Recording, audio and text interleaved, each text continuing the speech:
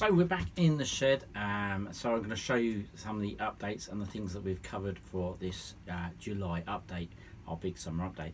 And this was one of the first projects we did was the uh, wagons, if you remember these little, little hoppers. That was part of what we did, we did these ones and then uh, down here, so these are the other sort of like wagons we did, little vans. Now if you remember they're all different colours and uh, I showed you how to quickly spray them over. Uh, I've just added weathering powders, little transfers, uh, decals to them. Uh, use decal fix and I've also used a decal fix to sort of use in with the weathering powder. Actually makes a quite a, a nice little touch and um, yeah, sort of really works quite well. I'm really happy the way these have come out and uh, as, as you guys have said in the video, uh, a lot of you have tried this and uh, are going to tap into this uh, certainly reuse them little wagons. I actually saw someone's comment on uh, through Facebook saying that they bought four of these wagons for 50p at a boot fair. Um, so these things are out there. So do um, do do tap in and do search for these things because these will make great little additions. Uh, one of you guys wrote about tissue paper on the top. I've never tried that, so that's something that I will uh, have a little experiment with uh, again, weathering is all very new to me, um, but I actually really enjoy taking hold and giving it a go. Um, but you know, you know what we've got one, two, three, four, five, six wagons there. Um, you're paying about twelve pound a wagon for something like this, probably more, I would guess. Um, these are only Hornby and Lima, um, so yeah, really looks good. So that was our wagon project, and certainly worth a go if any of you guys have tried this do let me know how you get on because um, it'd be really interesting to hear your views and what you've done. So uh, see if I can learn any more tips and stuff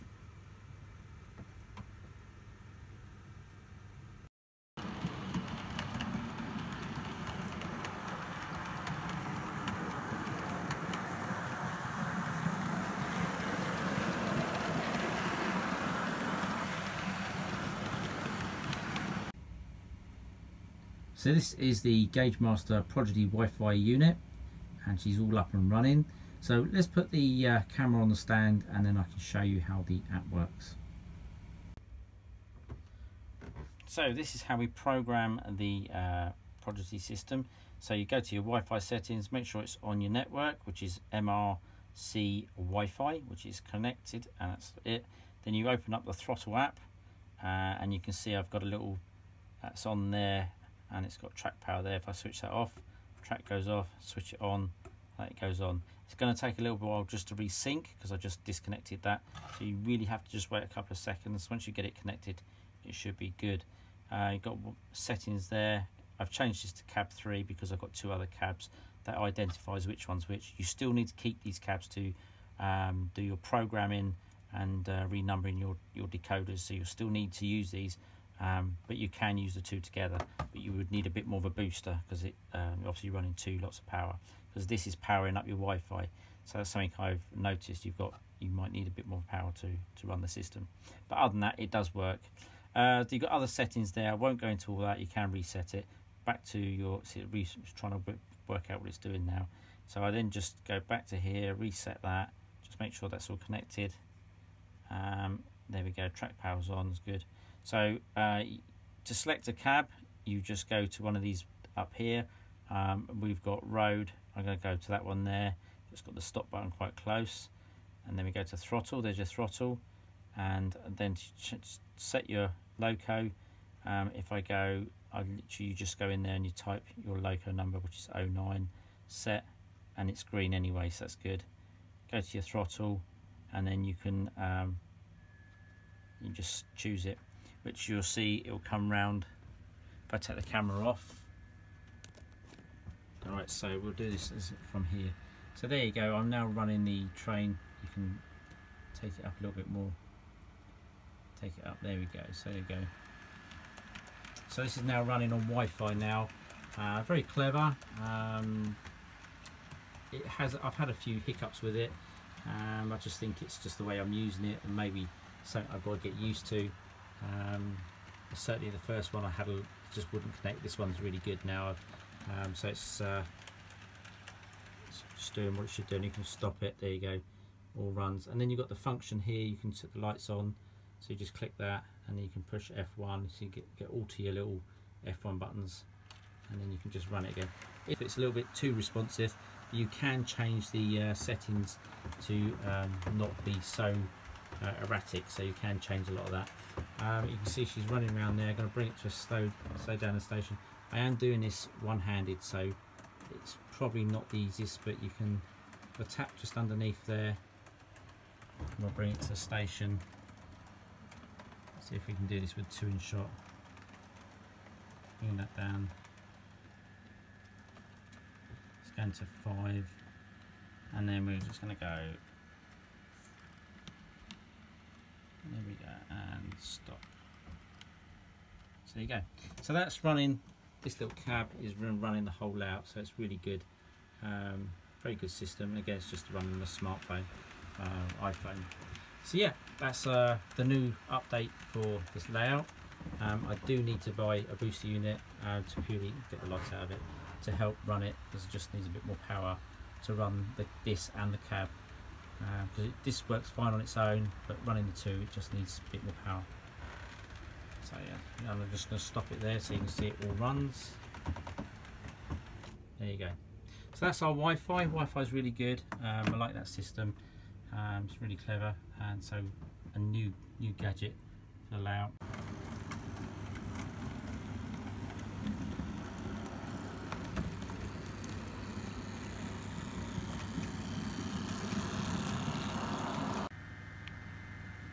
We also added the lighting to the layout, which was the strip light that you can see above there.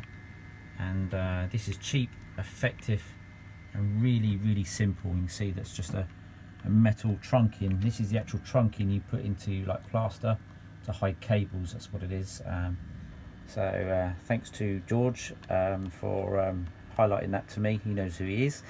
I left a comment saying, Gary, you know what that is? Um, I forgot to say what it was in the video that I did about the lighting. Um, so again, the trunking is galvanized steel and it is uh, something like two pound, two pound sixty, two pound eighty a, a length. Um, so it was the cheapest, sort of strongest, manipulable thing that I could find that would hold the lighting.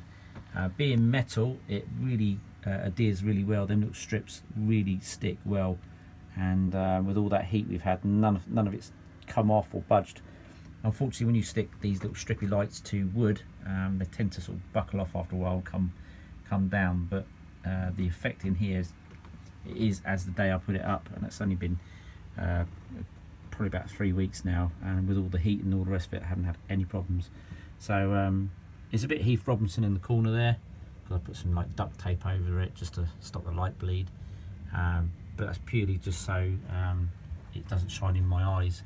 But looking through there, um, get a nice little look. I really like the way that looks now. Uh, get a nice uh, sort of light level. Um, really good.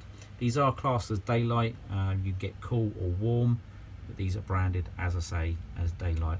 Uh, I'm not sure how that fits in between them but I would imagine on the cool side. But it really brings out all the uh, definition and uh, all the look on things. So really really cool. So yeah that is the lighting and say it goes all the way around. The whole of the layout so it goes all the way down here. Sorry for the camera shake. I'm gonna get a bit of this on this on this particular video. And it then goes down. We did it all the way down there. I have actually got the lights on in the middle of the shed which are also LEDs and they're a lot more expensive. Um, and they just they, these the ones in the middle are more of a, a warm light. So I've got a warm and a cool daylights in effect so I've got the best of both worlds. Uh, so it doesn't get so many hard shadows. And uh, that's why I get that nice little look from there. So yeah really happy with that. Um, our lighting added to the layout. Uh, definitely definitely heard some of you guys giving it a go and um, really excited to get this laid down. And uh, it's really cheap and easy as I say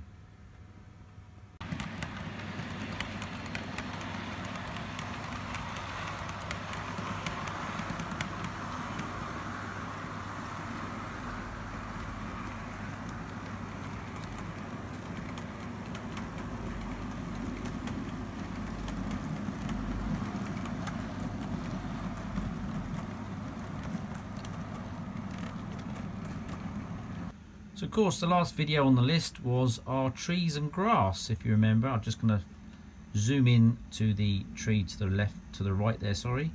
So there we go, we're going to focus in, there we go. So you get a nice, uh, you can see it, get that nice little look at these trees and grass and um, I've certainly got a nice little layer in there now. I'm really happy the way this is turned out. You can see it's all given a right, a right appearance how I want to. But what I do like about it is uh, when I put the camera here, I'm actually going to focus the camera onto the signal box in the background so it'll blur out the trees and this is a nice little effect. Uh, so if I just tap to there, so all the trees in the sort of in front of me are blurry and that gives me a nice sort of look uh, in the distance. So it's real good for your photography or filming layout or just actually looking down low. Um, so I'm really quite happy with that so yeah our trees and grass um, I've just upgraded them added a few more. Um, I'm not a lover of these foam trees as they call them this sort of um, but I've made the best I can out of them but I, I do actually like these ones. Uh, these are really smart. They have come out really well. So yeah. So that is our grass and our trees and uh, we did this using our little fly squat um, which you remember is just a bug catcher from the pound shop. Um, I've actually redeveloped mine. I'll just show you that. So this is my um, static grass maker. And uh, you can see I've just I put a Tupperware uh, sort of cup thing on the end there, a little tub. And the lid just pops off. So if you remember I had a box shape thing which worked really well.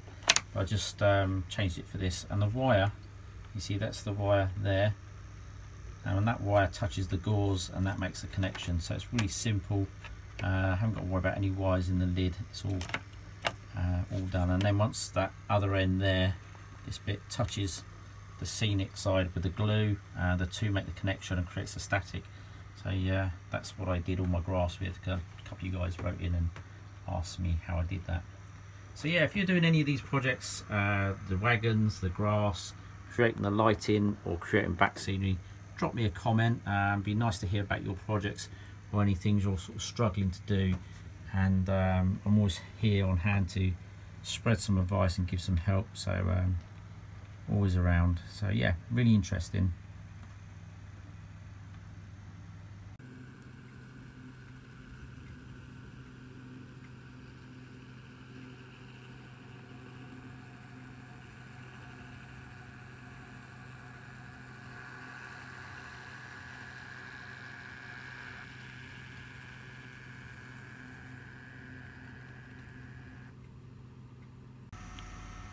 This is my new addition to the layout. This is a little eBay win and a nice little shunter.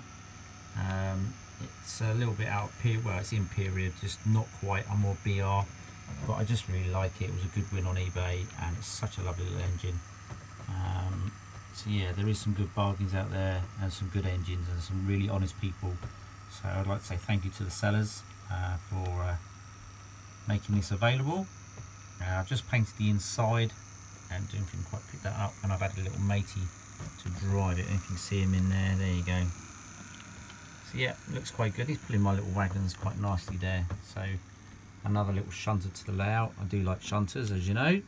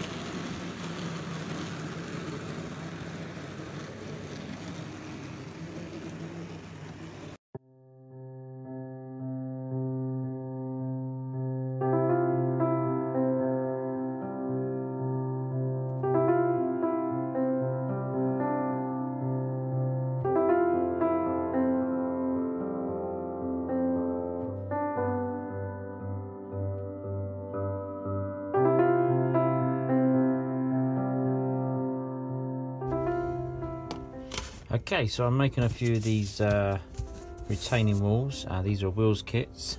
Um, if you ever want to use a good glue, this is Plastic Magic from Deluxe Materials. Highly recommend it. Um, you'll see how quick this bonds. It is amazing. Um, a lot of the Deluxe Materials stuff is absolutely fantastic. Uh, whether it's uh, they've got a whole range of stuff, I should say. Um, so really do check out their stuff. And to be honest with you, you'll find making models and doing your jobs a lot easier. Now this is a solvent based, it's got no smell, it's very safe to use. And you watch this, I literally holding that in place. I'm just going to drop a bit of glue in there. Well, it's not glue, it's just like a solvent. And really that's about it. And I'm going to let go of that now. And you can see that it's now bonded. Okay, that is that quick. It's like 10 seconds. It's quicker than super glue but you don't get stuck together with it. Absolutely amazing stuff. So I'll do that again. Find the uh, feathered side. That's the feathered side. Just hold it in position. Get it to where I need it to be. Line it up. And it's got a little tiny brush. You get two brushes. This is the fine one. Just dab it. Literally just dab it down the side. And that's done. I'll let go of it and it's bonded. And that is now set that's how quick this stuff is it's amazing stuff to use plastic magic um, again it's deluxe materials and you get spare brush. Absolutely brilliant especially if you're making any kits up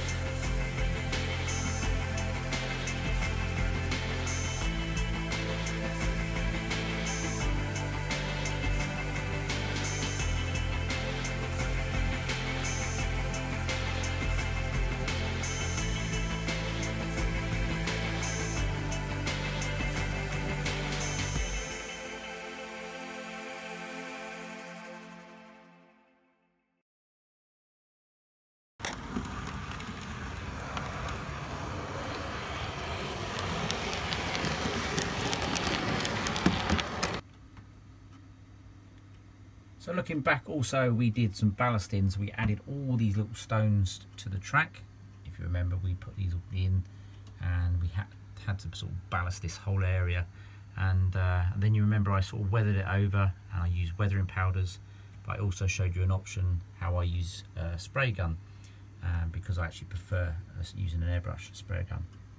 Um, it certainly, it certainly had to be done. This was a whole part uh, that was stopping the process uh, of finishing this part of the layout.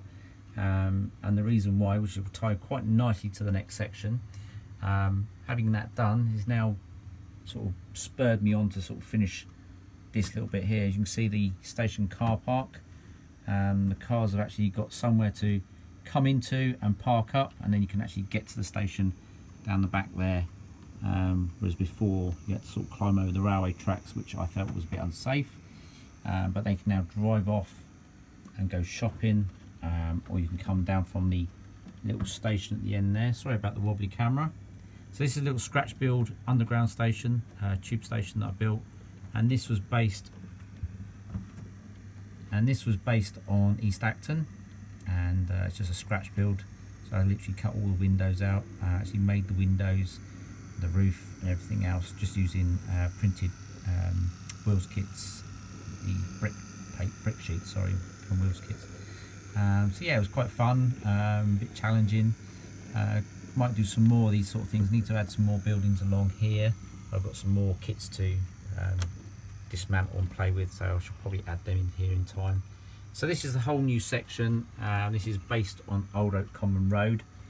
Uh, so you've got the underground station which goes down to the underground which is down there uh, which is my spare track underneath the layout and that will develop in time. That's a whole new different project. But then this is the new bridge and it goes right across here now and it goes through a little portal tunnel down there. Uh, sorry it goes through a little bridge down there that I've still got to finish off. And then you've got an access ramp down to the depot which goes to there. Uh, so these guys when they finish their shift they can actually go home. And they were complaining they didn't like being stuck there day in day out so it gives them a purpose. So yeah um, certainly looking good. This was the section of uh, bridge that um, was a very brick colour and I sort of just uh, finished it and tied it all in. And it all ties in quite well now. Um, I'd like to say thanks to Paul for uh, Gorgorham Hall for your techniques on making girders which um, I used to make this girder bridge and he's got a great tutorial on that so tap into that. And he also shows you how to do this weathering on bricks um, you are a lot better at doing it than I am. And uh, certainly had fun. I found it easier on the Wills kits because they're a thick uh, the bricks are actually more embossed than the actual Slater's kits. Uh, the Slater brick is very lightly embossed so it was really hard to get the, the grain in. So um, I've got a good definition on these and maybe I shall try and buy uh, some um, good quality brickwork that's uh, more heavily embossed and you'll get a better sort of weathering effect on it. So yeah it really really sort of works well. Um, really happy the way this has come out. This whole section in the middle is uh, removable so because I've got the main door there. Uh, recently I went over to see uh, Fred at Willbury Castle and he has a section where the door he comes through into the layout and he has a, like a little river and a bridge bit it was amazing. Um, but he also can lift the bridge up. Uh, so this was an idea that we sat and had a cup of coffee and uh, a few biscuits and shared great ideas so thanks Fred for your hospitality and a real great day out catching up on old times and uh, you've given me some ideas on how to uh, fix this end of the layout. Um, it was actually when as soon as I got back from Fred's I was drawing like mad on paper and then started building so it's uh, this is where it got me to so it's really good. Thanks for that Fred.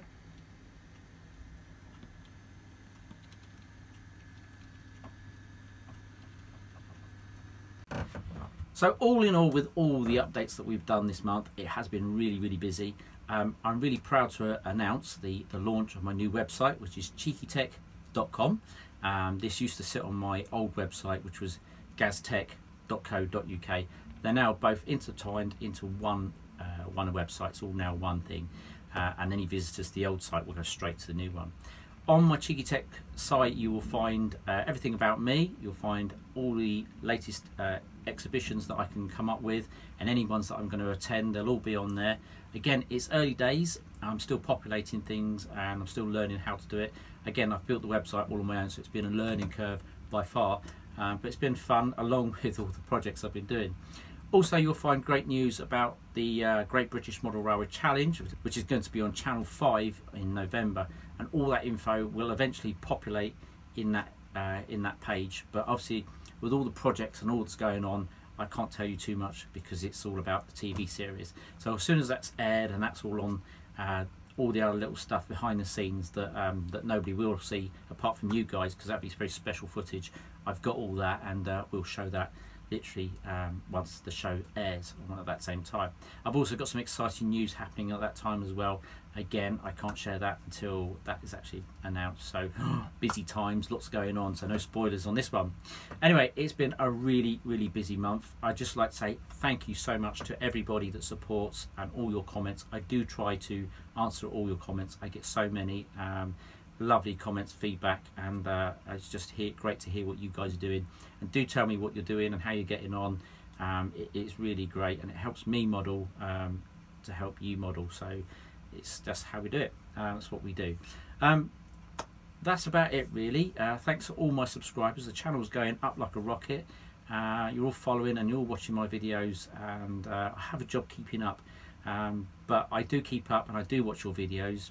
Um, so please hang in. Um, I do love YouTube. I do love um, the railways that we all uh, intertwine and enjoy, and that's the way it should be. We should all enjoy uh, model railways, our hobby, crafting, whatever we do.